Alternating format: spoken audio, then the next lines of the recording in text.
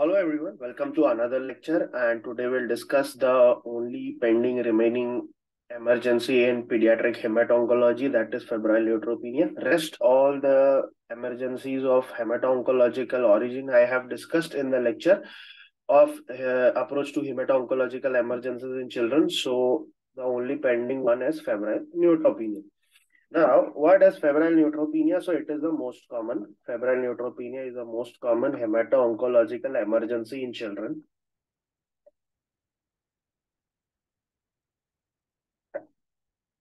So this is important that the most common hemato-oncological emergencies in children is, uh, you know, this febrile neutropenia. Now you have to know that, you know, it is sometimes associated with just fever. It may present with just fever. And, uh, you know, then when you investigate the patient, you can see that the patient is suffering from neutropenia. Now, what is the definition of febrile neutropenia? So, first thing is a single temperature of more than 101 degree Fahrenheit, which uh, you know estimates to around 38.3 degrees Celsius or more than one hour of 104 degree Fahrenheit fever, which turns out to be around 38 degrees Celsius.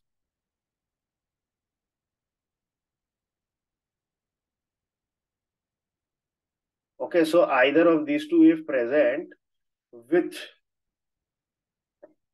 absolute neutrophilic count less than 500 uh, cells per mm cube or expected to fall expected to fall less than 500 within 48 hours. So right now it is 1000, but it is falling with such a speed that in 48 hours you are expecting the absolute neutrophil count to go less than 500. So that is the definition of febrile neutropenia. Now, there are two terminologies. One is profound neutropenia, profound neutropenia. So it is called profound if ANC is less than 100. And it is called prolonged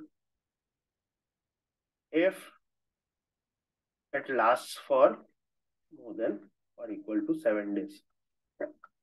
So you have to remember this that prolonged neutropenia is prolonged febrile neutropenia is that if it lasts for more than seven days and profound neutropenia is that if ANC falls less than 100 per millimeter cube. Now, all the patients of febrile neutropenia are considered as pediatric emergencies because they might deteriorate very, very, very, very, very fast. And there are some clues to diagnose the cause. So, one of the causes enterocolitis. So, in enterocolitis, what might occur? Abdominal distension feed intolerance, bilious vomiting. So if this is present, then you may say that, okay, the patient has enterocolitis. Okay, respiratory, uh, you, you may say that there is pneumonia. If there is again respiratory distress, crepitations heard,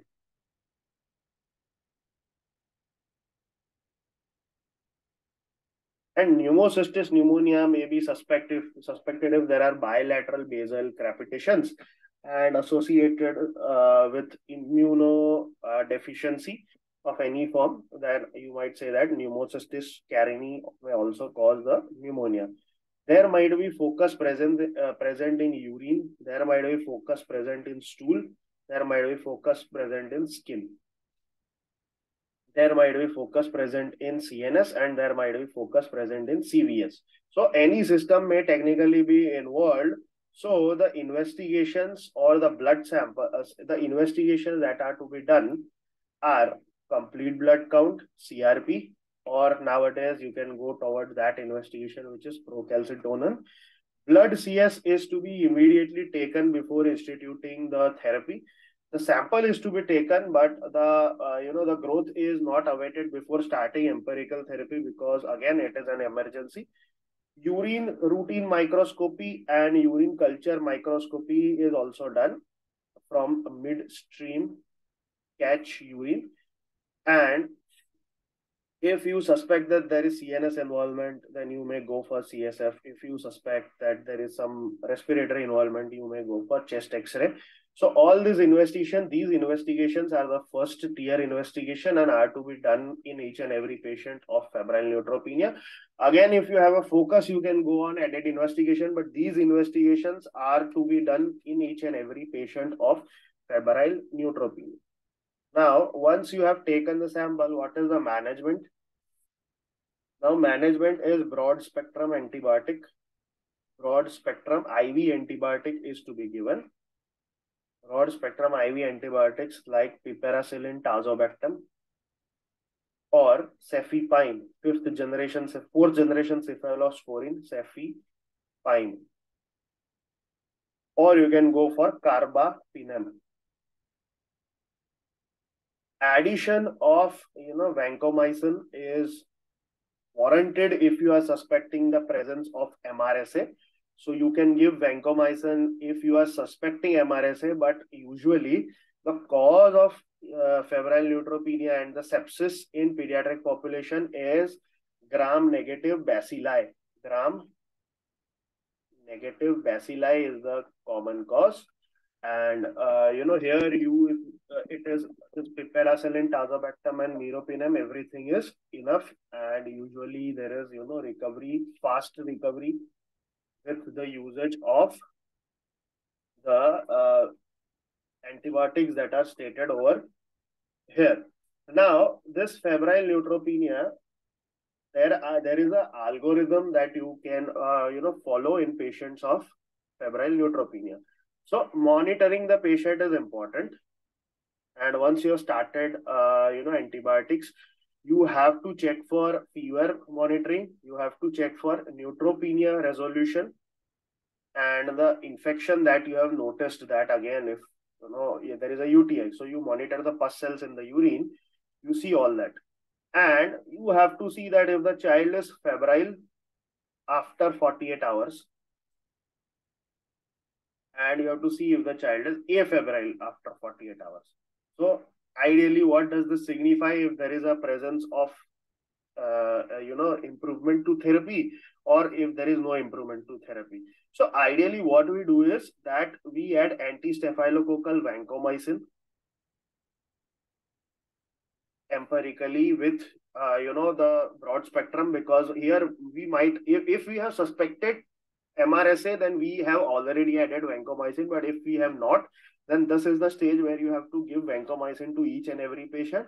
Again, check for five, five days for the response, febrile after, after three to four days. Again, if it is present, then you have to start antifungal therapy. Antifungal therapy. Now, uh, if the child has become afebrile after 48 hours, you have to see the ANC level. If the ANC level has become more than 500, or if the ANC has become less than 500, or it is still less than 500. And then we will do the risk stratification. We will see the risk factors which help you, us to uh, stratify the risk. So if it is a child, a child is low risk or the child is high risk.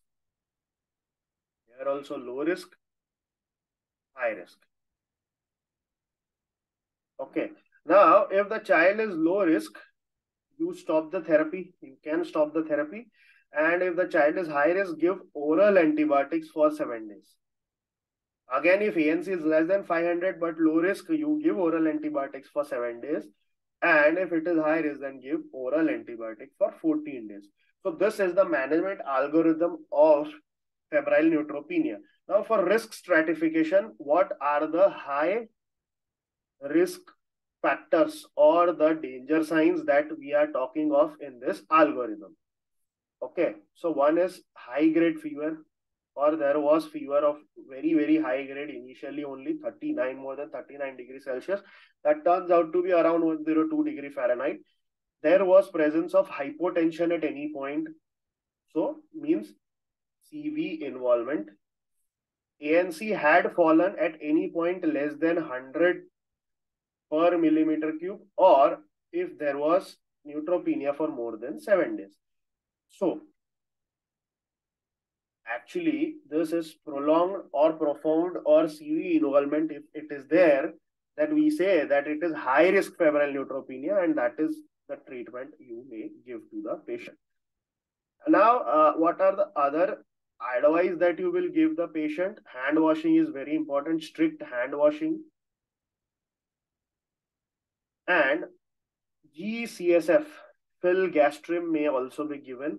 Filgrastim may also be given 5 mg per kg per day to help recover the granulocytes and that is important. Cotrimoxazole may be given if you are suspecting pneumocystis pneumonia in the patient and if you are not suspecting pneumocystis pneumonia then uh, uh, you know you can avoid cotrimoxazole but for pneumocystis pneumonia you have to give cotrimoxazole. What else therapy you can give? You can give transfu transfusion to the patient. Transfusion if the HB is less than 8 gram per deciliter, you have to give HB if less than 8 gram per deciliter or platelet less than 30,000 if they falls.